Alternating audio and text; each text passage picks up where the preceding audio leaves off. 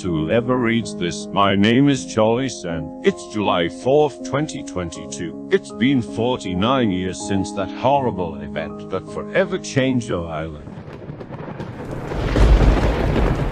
I have tried my hardest to forget those sad days. I can still hear their screams as I relive their deaths over and over again in my mind. I am 84 years old. My time is almost up. I just need to tell this story one last time to get it off my chest.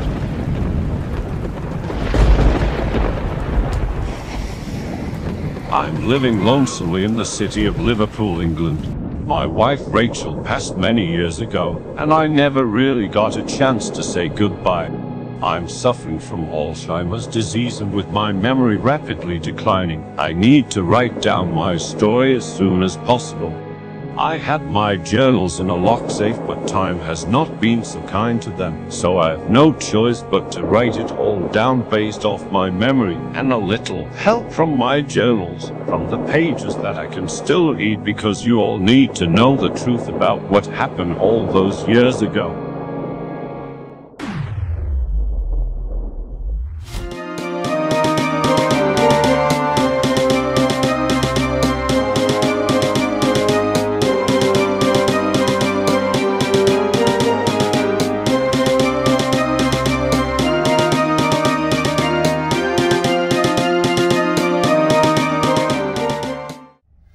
I remember it like it was yesterday. It was 1973. The month was March, March 5th to be exact. It was a beautiful day in my opinion. The grass was green and vibrant. The sky was a bright blue without a cloud in sight. And Edward's paintwork sparkled in the sunlight.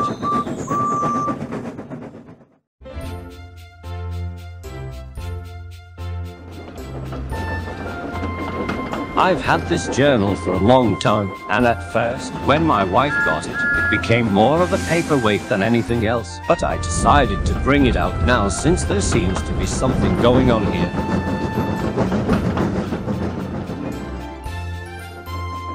Recently, Sir Topham Hatt, who runs the railway, signed an agreement for this new nuclear power plant to be built alongside the branch line leading to Brendam. Of all the places they could have put it, they had to put it near the most beautiful line, in my opinion.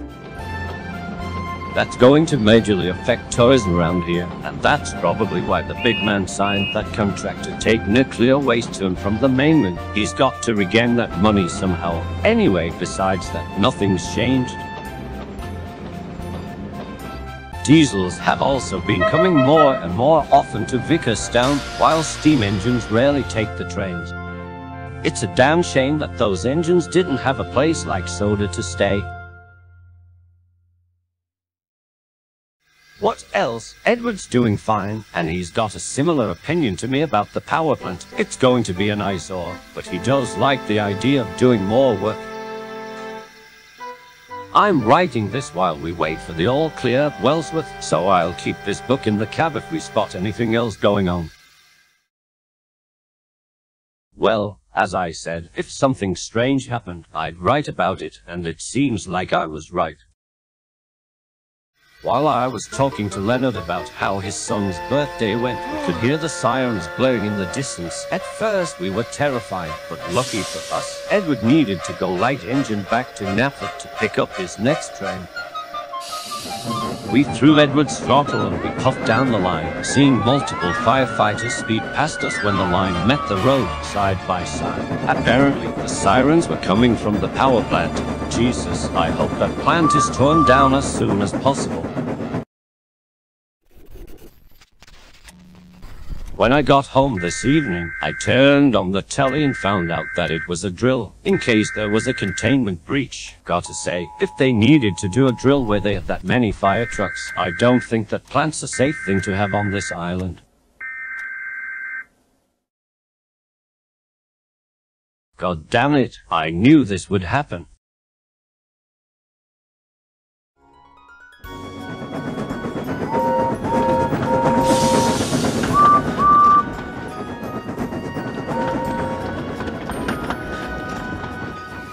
We were waiting patiently at Wellsworth for the rest of our passengers to board the train. Meanwhile, unknowns to me or Sydney, things were going wrong at the power plant.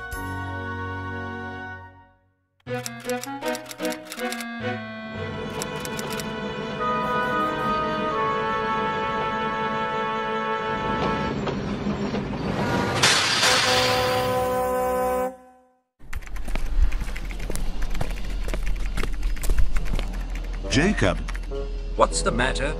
Dennis just arrived and is ready to take the goods train. Is his train shunted? Yes, Duck shunted it about an hour ago. He's long gone by now. Good. Also, what time is it? Oh, it's 2.33. Thanks. I can't wait to get out of this dump.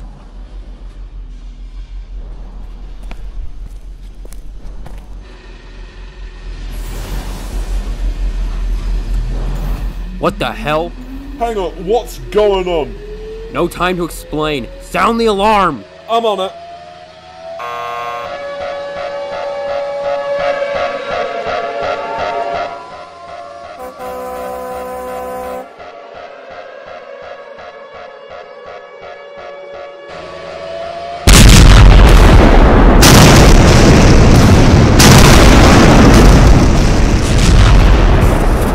As an earth-shattering explosion boomed in the distance, the sky went dark and this huge cloud was visible in the distance.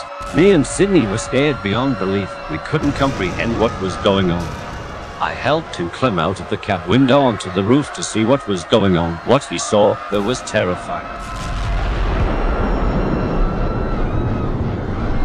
Sydney scampered back down as the passengers cleared the platform faster than I've ever seen before. We knew the shockwave would be coming fast. The guard blew his whistle. We released the brakes, hit the regulator, and pulled the whistle for dear life.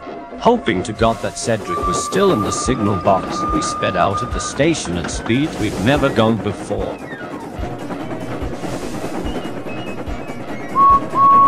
Thank God he was, because without him, we would have been killed. He switched the points, and shortly after, we heard the honking of a horn in the distance.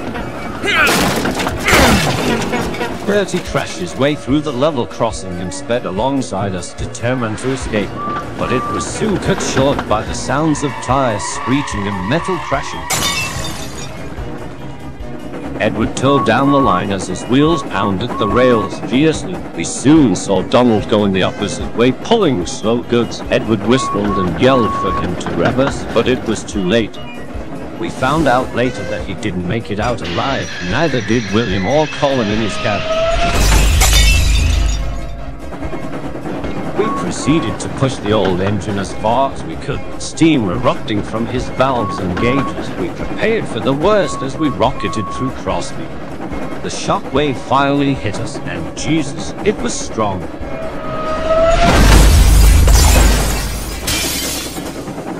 Caused the glass in the coaches to shatter and rock them side to side. Edward's pony truck also derailed because of some jammed points, but those things didn't stop us.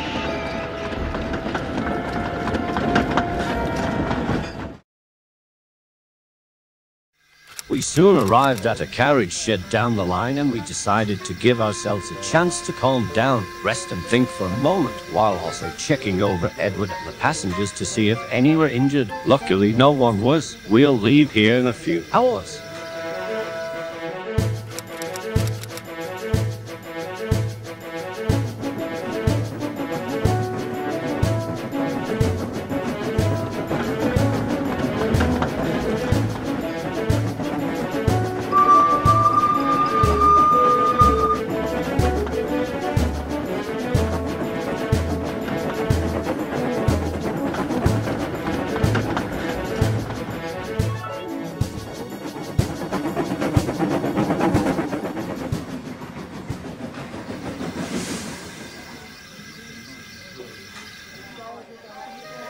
After staying at the carriage shed for about three hours, we made it safely to Knapford and huddled everyone into the station buildings and offices.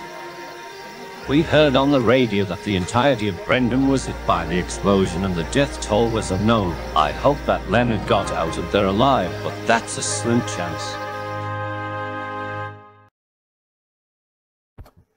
Good evening, I'm Dr. Stuart Bailey.